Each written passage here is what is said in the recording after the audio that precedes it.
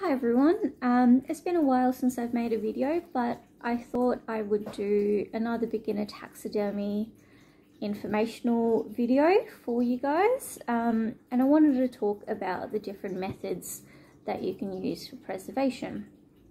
So the first method is the traditional mount which is what we've got here and it's also the video that I posted about the rabbit.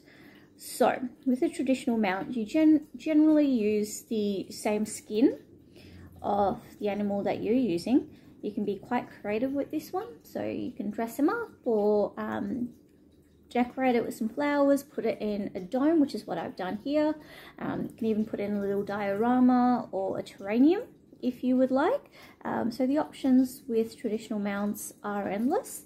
And in my opinion, um, they're one of the easier things to do if you know what you're doing in terms of uh, shaping and forming an animal anatomy. So if you know that quite well, you can get something that looks like the real thing.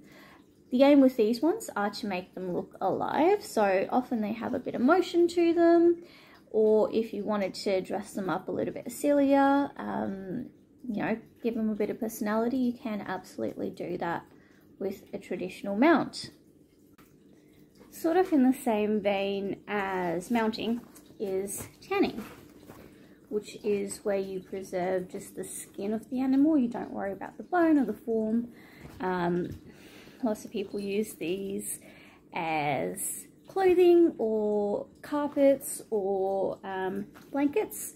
Um, you can see they're still quite soft and pliable, um, so they're flexible. You can also make a soft mount uh, using the same sort of techniques as tanning. So tanning involves quite a bit of chemical processes in order to preserve the skin. Um, drying it out takes a couple of weeks to do, um, and then scraping off all the um, the fat and the tissue from the inside, and making that workable also takes a lot of love and care to brush the fur and make sure that there's no skin slippage, which is where you lose fur. Um, don't mind this piece. It's my very first uh, tanning that I've done. I haven't done one really since. Um, it's just a little fox that I found. It's an old baby boy um, on the side of the road. But that is tanning if you're wanting to have your pieces as more of a practical sort of use. The second method of preservation is bone preservation. So that is where we just keep the bone. So this guy here is a fallow deer. Um, probably doesn't take as much work as a traditional mount, but it does take a lot longer. So this one probably processed for upwards of six months. Um, so there's a number of chemicals that you have to bathe it in, um, and there's a number of things that you have to do in order to get it one looking white and two also um, preserving the bone itself. Um, so this one here usually starts off with maceration or dermestid beetles or you can either bury it in some dirt for a bit and then come back and dig it up later. So um, Maceration is just leaving it in some water for a very long time and letting bacteria build up in that water and that bacteria eats away the flesh and the tissue of your specimen. Once you've macerated it, um, you then need to degrease it and then once you've degreased it, you then need to whiten it. Um, so in total, probably about six months of maceration, degreasing and whitening. Um, and then I've just oiled the antlers a little bit on this one as well. Um, and quite often bits and pieces get loose, so I've had to glue in the teeth as well. Um, so that is the second option. The other thing you can do with those are articulate them. So if you're a person who likes jigsaw puzzles, you will enjoy articulation. So when your bones are processing, they all um, sort of, the connective tissues dissolve so you will need to piece them back together. So get yourself an anatomy book and figure out where all the bones go. And the fun part about that is each bone fits into one specific place. I have not done any um, articulations because I just don't have the patience and I'm not that keen on jigsaw puzzles, but people who are, they absolutely love them. All right, the other method of preservation is wet preservation, which is where your specimen will sit in a um, preservation liquid or formula. You can either put the whole animal in there or you can do part of its organs. So um, we've got some rabbit eyes in there and we've got a little mouse friend in here. So with wet preservation, it's probably the trickiest um, out of the different methods simply because you have to know what you're doing and how to handle the various chemicals that's used. Um, the most common chemical that's used is formaldehyde, which is incredibly um, toxic and caustic.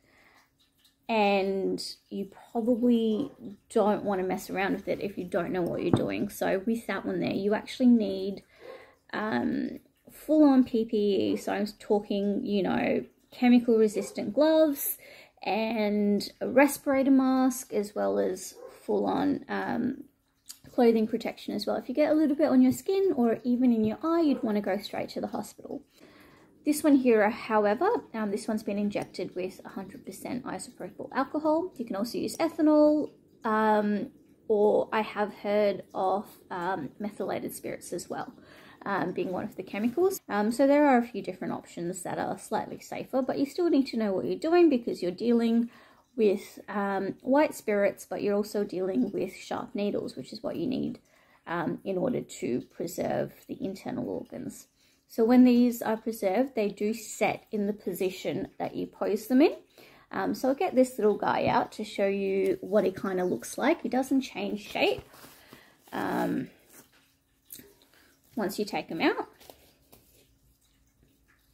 All right, so it's not as fluffy as it might look. Um, it sets um, in the pose that you put them in. So, we've got our little friend here. And you can see that the tail has kind of matched how it was um, sitting in the vial um, and the rest of him is as well. If you wanted him in a different shape, um, you'd have to pose him that way before he sets um, in the in the preservation fluid. But yes, this is this is our mouse friend, and he stays in the shape that you put him in.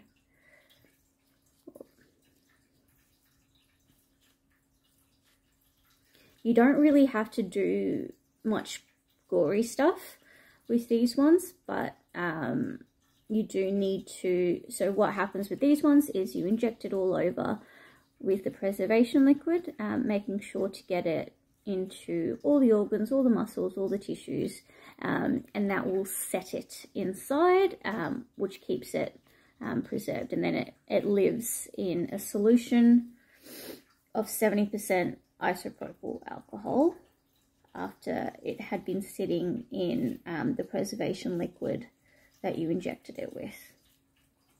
There are also um, diaphanizations, which actually creates a really cool colourful effect on your specimen. They look really cool with fish, but you can also do them with lots of other animals as well because um, it actually stains the bones.